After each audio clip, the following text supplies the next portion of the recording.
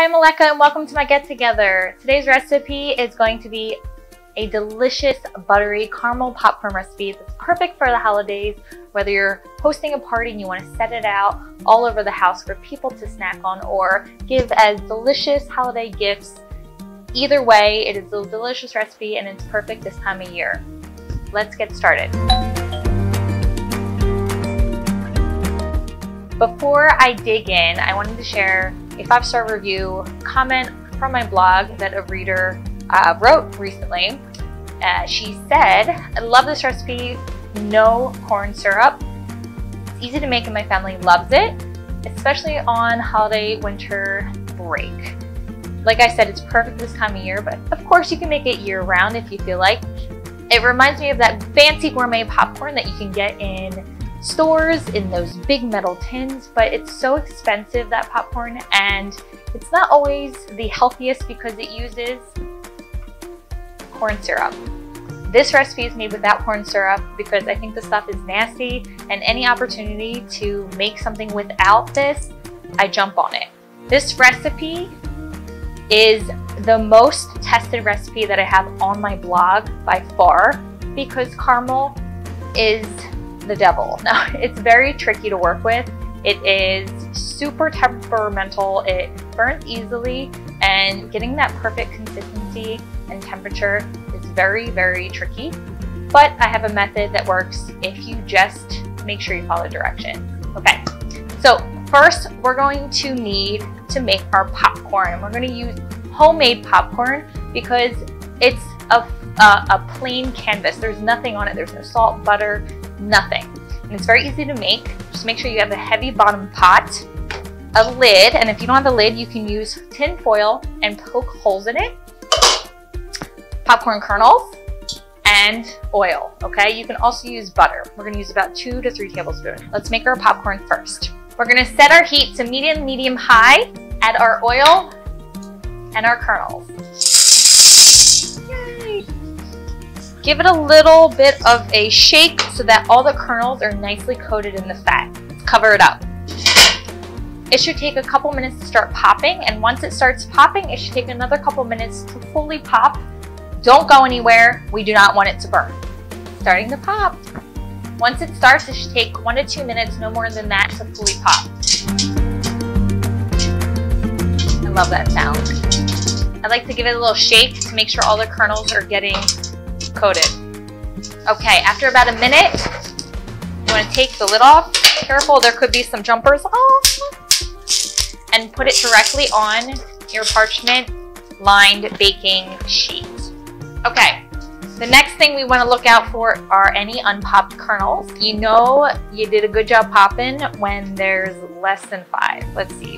And if you see any pieces that were on the verge of burning, just toss them and in the trash because nobody wants burnt popcorn. Here's another one. That was three. Four. All right, five.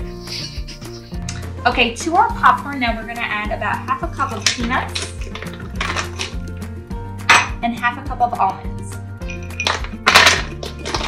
I love this combination, it's classic. And of course you can use any nuts that you prefer, but I love the combination of these two. Make sure you get unsalted because we're gonna add some salt in our caramel sauce.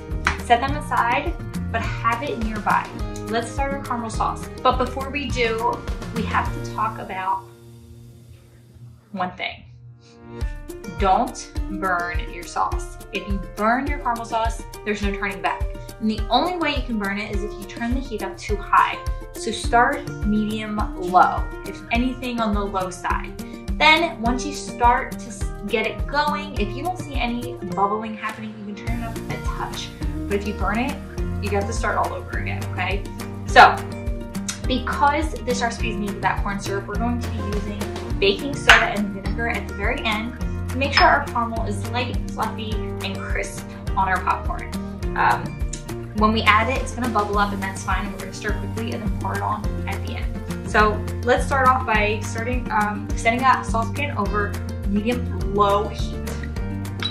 To the saucepan, we're gonna add six tablespoons of butter and half a cup of brown sugar.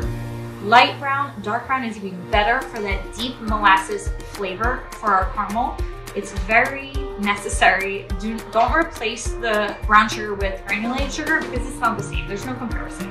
So go out to the store and get brown sugar if you don't have it. So in the beginning, make sure that your butter is fully melted and if you need to stir it to get it going, that's fine.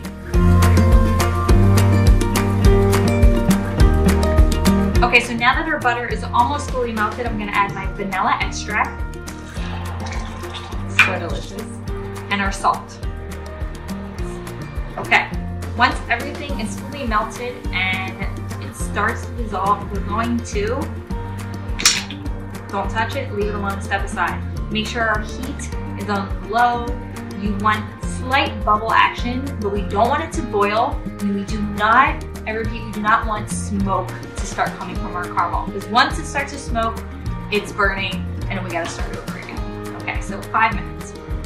Okay, so it's been five minutes. We're going to add our baking soda and our vinegar as quickly as possible, give it a stir, and pour it on top of our popcorn all within 30 seconds. Ready? Here we go. Vinegar, baking soda. Take it off the heat, stir, and pour. It should bubble up, that's the whole point, and it helps our caramel sauce be nice and light and airy. Next, we're gonna toss it as soon as we can. Get everything nicely coated. It smells divine.